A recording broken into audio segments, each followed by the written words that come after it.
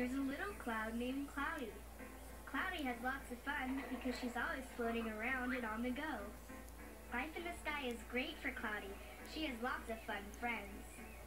Sunny the sun, rainy the rain,